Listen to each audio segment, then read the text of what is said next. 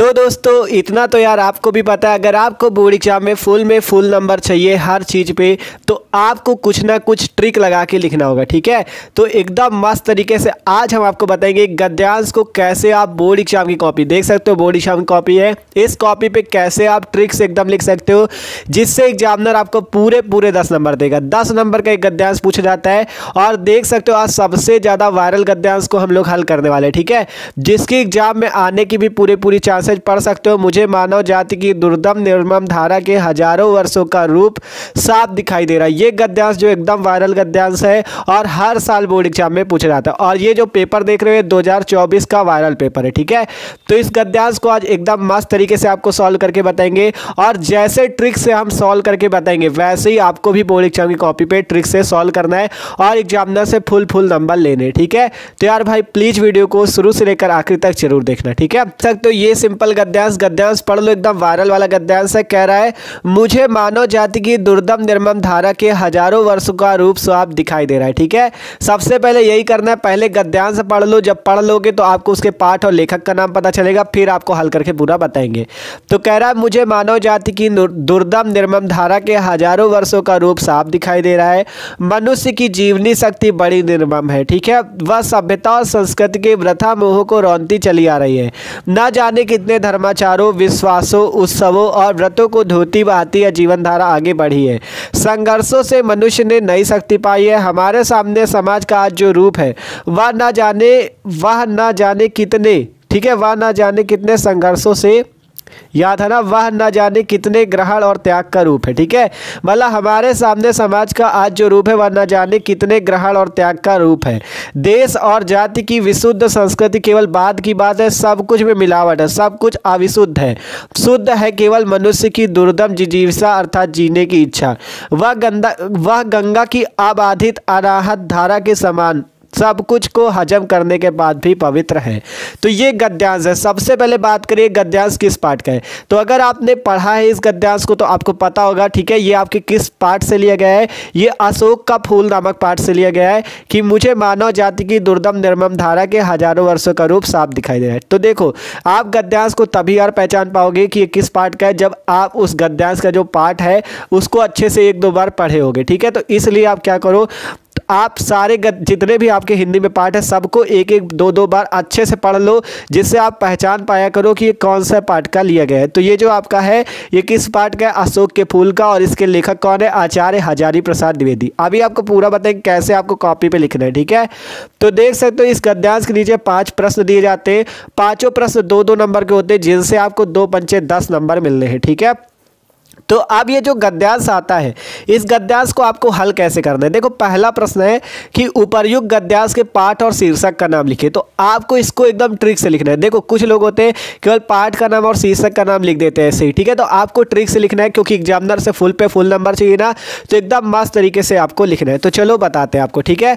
सबसे पहले देखो, यहाँ पे प्रश्नोत्तर संख्या इस टाइप से पड़ेगी तीन, क्योंकि ये तीसरे नंबर प्रश्न पे पूछा जाता है। ये जो गद्यांश है, यहाँ पे अगर आप देखोगे, ये प्रश्नोत्तर संख्या तीन है ये वाला गद्यांश अगर बात करें भूमि भूमि पर बसने वाला जन, ये वाला गद्यांश हमने करा रखा है, इसको भी आपको तैयार कर लेना है, ठीक है?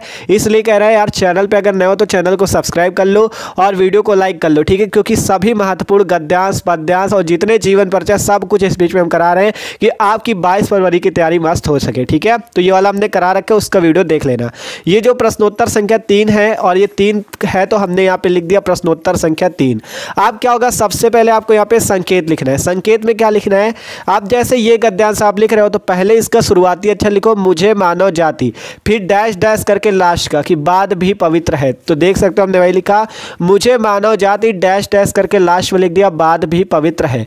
इसी टाइप से आप जिस भी गद्यांश को हल कर रहे होगे, इसी टाइप से लिखना ये तरीका होता है, ठीक है? ये तरीका होता है, इसीलिए कह रहे हैं, जब तरीके से सिस्टम से लिखोगे तो एग्जामिनर फुल पे फुल नंबर देके जाएगा, ठीक है?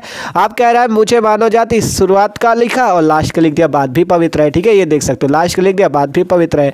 आप देखो, संकेत लिखने के बाद, अब यहाँ पर आपको पहले नंबर उत्तर देना है। तो यहाँ पर से पड़ा हेडिंग उत्तर नंबर का, ठीक है? उत्तर नंबर का पे क्या करना है आपको? ठीक है, जो उत्तर नंबर का है मतलब प्रश्न आपका का नंबर कह रहा था उपयुक्त गद्यांश के पाठ और शीर्षक का नाम लिखिए। तो हमने यहाँ पे का नंबर उत्तर लिखा, पहले हम लिखेंगे पाठ या शीर्षक का नाम, क्या है अशोक के फूल, फिर लेखक का नाम हजारी प्रसाद द्विवेदी। अब इतना ही लिख कर नहीं छोड़ देना, इसके नीचे आपको इस टाइप से संदर्भ लिखना है, ठीक है? क्योंकि संदर्भ में आपका सब कुछ आ जाता है। देखो, एक चीज़ जान लो, जब एग्जामिनर को अच्छा लगेगा कॉपी तुरंत आपको खुश होकर नंबर पूरे दे जाएगा, ठीक है? तो अब इस टाइप से संदर्भ लिखना है कि प्रस्तुत गद्यांश हमारी पाठ्य पुस्तक हिंदी के अशोक का फूल नामक पाठ से लिया गया और इसके लेखक हजारी प्रसाद द्विवेदी जी है, ठीक है? इसी टाइप से आपको लिखना है। अगर यही क्वेश्चन पे आपसे संदर्भ पूछता, तब भी आप इसी तरह लिखो। शीर्षक का नाम पहले लिखो, लेखक का नाम लिखो। इससे क्या होगा? इससे एग्जामिनर जैसे ही कॉपी चेक करेगा, उसको तुरंत पता चल जाएगा चैप्टर का क्या नाम है, लेखक का क्या नाम है, और संदर्भ इस टाइप से लिखा रहेगा तो पूरे नंबर वो देखे जाएगा, ठीक है? तो इस टाइप से उत्तर नंबर का को आपको सॉल्व करना है। फिर खा नंबर पे है रेखांकित अंश की व्याख्या कीजिए। जितने में रेखा खींची हुई, देख लो यहाँ पे जितने में रेखा खिंची हुई कि मुझे मानव जाति की दुर्दम निर्मम धारा के हज़ारों वर्षों का रूप साफ़ दिखाई दे रहा है। मनुष्य की जीवनी शक्ति बड़ी निर्मम है, वह सभ्यता और संस्कृति के व्रथा मोह को रौनती चली आ रही है। तो इतने का आपको यहाँ पे क्या करना है? व्याख्या, रेखांकित। जितने में रेखा खींची, उसकी व्याख्या करो। तो देख सकते हो, अब यहाँ पर से पढ़ा उत्तर नंबर खा। पहला तो उत्तर का आपका सॉल्व हो गया। यहाँ से पढ़ा उत्तर नंबर खा, रेखांकित अंश की व्याख्या। आप देखो, ये आपका गद्यांश है। इस गद्यांश पे क्या कहा है लेखक ने? वही चीज़ बताना है। तो हमने कहा, प्रस्तुत गद्यांश में लेखक कहते हैं। क्या कहा? प्रस्तुत गद्यांश में लेखक कहते हैं। आप कहा गया, मुझे मानव जाति की दुर्दम निर्मम धारा। तो वही चीज़ लिखा है, मुझे मानव जाति के विकास के हज़ारों वर्षों का इतिहास साफ़ दिखाई दे रहा है। देखो, वही कहा गया था ना, हज़ारों वर्षों का रूप साफ़ दिखाई दे रहा है। तो मतलब जो पुराना इतिहास बीत चुका, वो लेखक कहते हैं कि प्रस्तुत गद्यांश में लेखक कहते हैं कि मुझे मानव जाति के विकास के हज़ारों वर्षों का इतिहास साफ़ दिखाई दे रहा है। मैंने चिंतन मनन करके, मैंने चिंतन मनन करके ही अनुभव किया है कि यह मनुष्य की जो जीवन शक्ति है, वह निर्मम है, अर्थात बंधनों से रहित है। ठीक है? बंधनों से रहित है, जिसमें बंधनों से बंधी हुई है। और यही हमारी सभ्यता और संस्कृति के कार्य ठीक है? और यही हमारी सभ्यता और संस्कृति के व्यर्थ मोह को रौंदते हुए आगे बढ़ी चली जा रही है, ठीक है? मानव जीवन की इस नवीन धारा ने विभिन्न धर्मों के विश्वास, आचरणों, व्रतों, व्यवहारों, ठीक है? व्रतों और त्योहारों, ये त्योहारों है, ठीक है? आचरणों, व्रतों, त्योहारों को अपने अंदर समाहित किए हुए बढ़ रही है।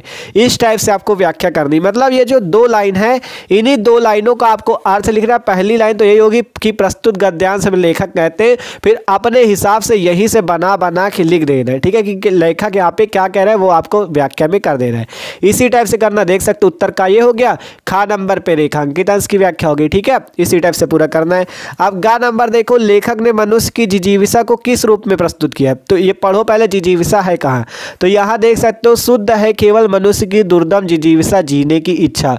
तो इसे कुछ किस रूप में आपका मतलब बताया है, उसको आपको लिखना है।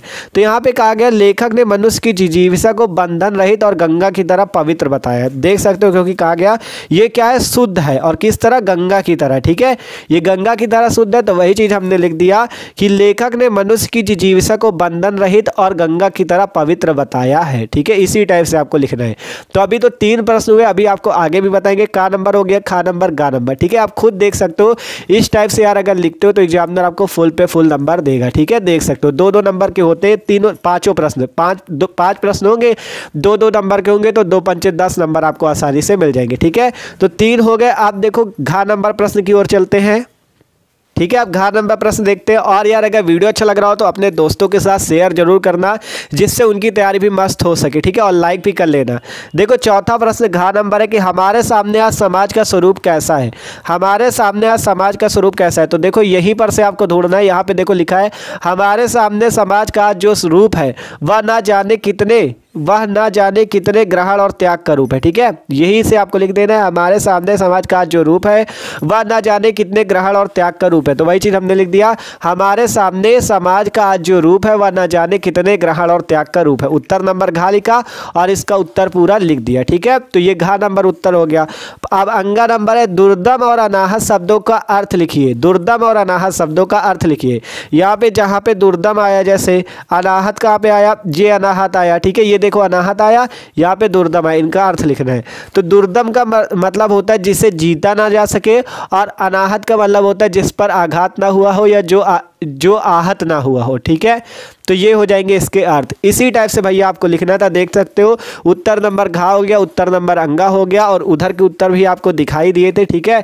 और ये जान लो ये एकदम वायरल गद्दा से आने के पूरे पूरे चांसेज है तो आपको तैयार ज़रूर करना है इसको ठीक है? तो पाँचों उत्तर आपको दिखा दिए हैं। ठीक है, देख सकते हो, इनको तैयार ज़रूर कर लेना, ठीक है? तो यार वीडियो अच्छा लगा हो तो लाइक कर लेना भैया और चैनल को सब्सक्राइब भी कर लेना।